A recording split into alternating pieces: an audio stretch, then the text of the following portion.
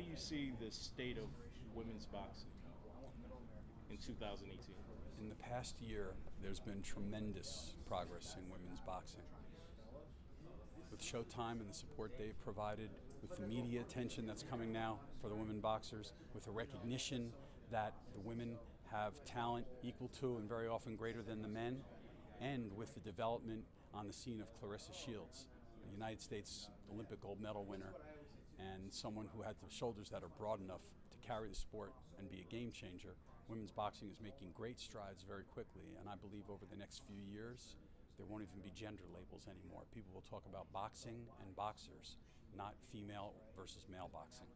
That leads right into the next questions. Are female boxers taken seriously? Female boxers are taken more seriously now than ever, and I believe that there's about to be a breakthrough in the glass ceiling. As long as the best fight the best, and you get to see the athletic ability of people like Claressa Shields, people like Christina Hammer, people like Cecilia Brækhus, then the public will follow. People know quality, and if they see it, they will not put labels on it. And it will allow the women to break through and reach the levels that the men have on television, with the media, and with pay. Successful skills as the head of HBO pay per view help you move into managing? HBO pay per view taught me so many things. It was really uh, 30 years of life's lessons. And I don't know if it helped me as much as uh, preparing for management as it did for helping women's boxing, which is really what my goal is. Uh, Claressa Shields is the vessel and I want to take my experience and combine it with her God given abilities and really make a difference in women's boxing. I learned the sport, I learned the media, I learned promotion, publicity, and marketing.